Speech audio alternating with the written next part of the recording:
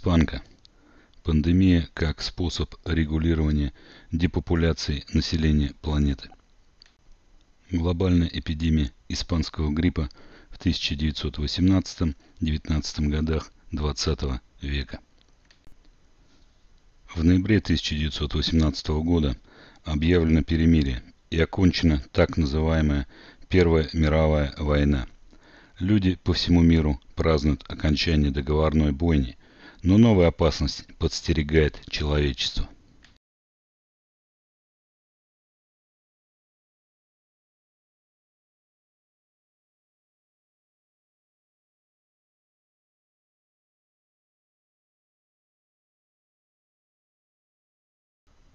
Первая мировая война являлась индикатором распространения вируса. Глобальная Всемирная организация здравоохранения готова к новому плановому уничтожению. Порядок уничтожения происходит в следующей последовательности. Сначала организовывается затяжной экономический кризис, после чего начинают войну, протягивая длинную линию фронта. Пандемия наносит свой удар – после заключения перемирия. Разберем слово «вирус». Вирус в переводе с латыни «яд» или «слизь». Я бы назвал ядовитая слизь, поражающая слизистые оболочки органов человека. Вирусы не способны размножаться вне клетки.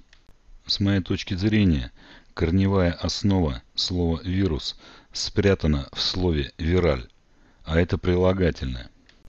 Прилагательное с корнем «ви» и окончанием «раль». Ирайл означает Reich Ausschuss für Lieferbedingungen, по-русски сборник отраслевых технических регламентов.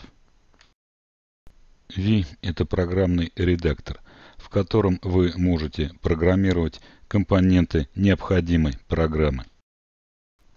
Программировать вирусы можно не только для программного обеспечения компьютеров с целью вывода оборудования из строя. Вирусы можно программировать и для людей, населяющих наш мир.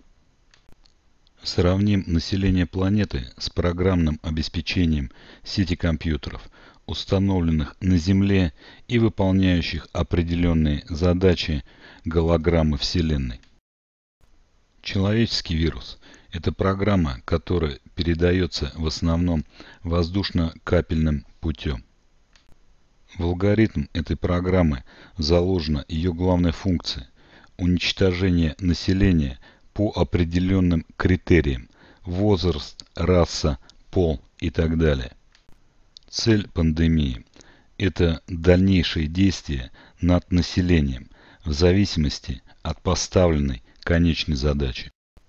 В основном уничтожается дееспособное население от 20 до 40 лет. Старики вымирают сами, а вот с детьми, оставшимися без родителей, можно манипулировать в нужных целях. Огромное количество детских домов, интернатов и приютов мы встречали по всему миру после любой глобальной эпидемии. Слово «глобальный» с корнем «глобаль».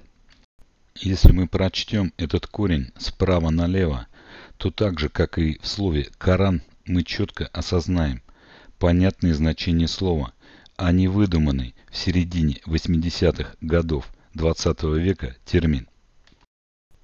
Лабо на французском означает лаборатория. ЛГ – это десятичный логарифм. Испанка уничтожила 100 миллионов человек.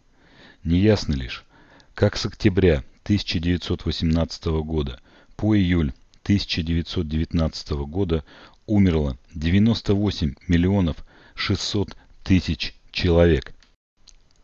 Отсутствуют частые могилы и массовые захоронения того времени. Куда делись трупы 100 миллионов людей и что с ними сделали – за такой короткий промежуток времени. Вирусы, поражающие человечество, программируют в лаборатории используя логарифмы. Жертвами испанки стали 100 миллионов человек. 30% населения Земли было заражено, и 5% населения планеты умерло от нее. Десятичный логарифм 100 миллионов равен 8. Пандемия испанки началась 4 марта 1918 года, а сумма цифр этой даты равна тоже 8. Вы видели в начале фильма штапеля гробов на телеге. Гробы были изготовлены заранее и серийно. Случайное совпадение. А это снимки пластиковых гробов из нашего времени.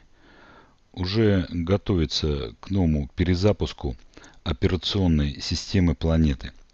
А уничтоженных людей будут паковать в эти пластиковые ящики и сжигать. Нам уже в 2018 году сообщили об уничтожении 300 миллионов человек. Наше время движется циклично по спирали. Последствием мирового кризиса 2008 года стала мировая война, втянувшая в кровавый конфликт многие страны мира. Линия фронта растянулась от Ливии через Сирию до границ России на Донбассе. Следующим действием в этом алгоритме должна стать пандемия. Я назову ее, например, просто англичанка. В этом году есть одна интересная дата, 2 февраля 2020 года, где цифры повторяются в зеркальном отражении. Сумма этой даты, опять же, случайно равна 8, а 8, как известно, десятичный логарифм из 100 миллионов. Умножив 3 на 100 миллионов, мы получаем уже заранее запланированное число людей, которых должны уничтожить. Я не Авгур и не пророк. Я буду счастлив, если я ошибаюсь в своих выводах, приведенных в этом фильме – используя свой метод исторического технико-математического анализа событий. Мы изучаем историю прошлого, чтобы понять, как нам действовать в будущем. Благодарю вас за просмотр. Делитесь этим видео. Пока. Что наша жизнь?